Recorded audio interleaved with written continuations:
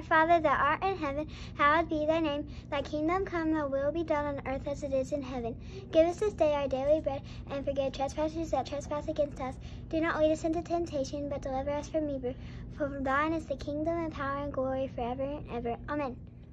Our Father, who art in heaven, hallowed be thy name.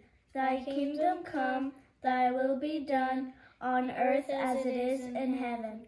Give us this day our daily bread, and forgive us our trespasses, as we forgive those who trespass against us. Lead us not into temptation, but deliver us from evil. For thine is the kingdom, the power, and the glory forever.